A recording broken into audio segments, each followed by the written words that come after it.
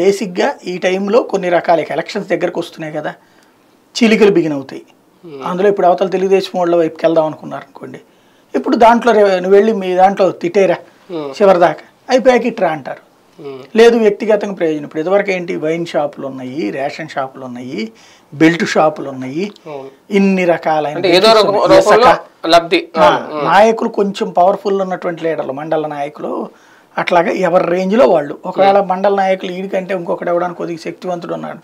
వాడు ఇసుక తీసుకుంటుంటే వాడు ఆ కార్యాలయం దగ్గరికి వెళ్ళి రచ్చ చేసి లేకపోతే అక్కడ రచ్చ చేస్తే ఓ పది రూపాయలు ఆడికి కూడా ఇవ్వండిరా. ఏంది? అట్టకి సర్దుబాటు జరిగేది. ఇప్పుడు అట్ట కుదరట్లేదు. ఉమ్, కుదిరితే ఈ గొడవలు రావు కదా. ఉమ్, ఇంకోటి ఆదిమూలపు సురేష్ ఎస్సీ సామాజిక వర్గం నుంచి వచ్చి ఎస్సీలు ఓట్లు వేస్తున్నారా లేదా అనేది లెక్క అక్కడ మిగతాది.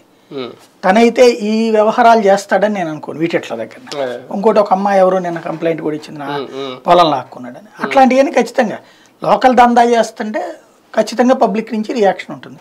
లేదా అది వ్యక్తిగత ఇష్యూ అనుకోండి వాళ్ళిద్దరి మధ్యన అనుకోండి. పబ్లిక్ అవి పట్టించుకోరు. అందులో జెన్యూనిటీ ఉంటే అవతల పక్షాన్ని ఇతనికి వ్యతిరేకంగా వేస్తారు. ఇతను చేత కాలేదనుకోండి ఖచ్చితంగా ఓడగొడతారు. ఇట్లాంటి వాళ్ళు అదే కదా చెప్పేది నలభై నుంచి యాభై మంది ఏదో తీసేస్తారనేది అదే కదా? అంటే కానీ ఇటువంటి జరిగినప్పుడు అంటే ఆలోచించాల్సింది కూడా ఉంటుందేమో. లోకల్లో కొన్ని సమస్యలు ఉంటాయి. ఇప్పుడు ఈయన కాలేజ్ సమస్య లేదు ఇంకోటి.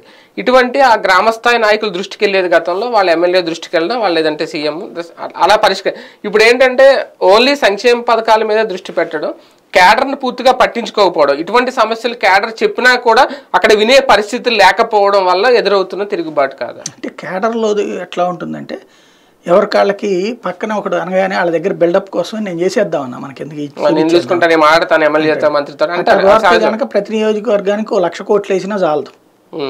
ఇప్పుడు మన ఓ నాలుగు సందుల్లో ఒక ఇల్లు ఉంటుంది ఎక్కడో ఒక ఇల్లు ఉన్న చోట రోడ్డు వేయాలంటే గవర్నమెంట్ ఏం లెక్కేస్తుంది? ఆ ఆ సందులో ఎన్ని ఇళ్ళు ఉన్నాయి?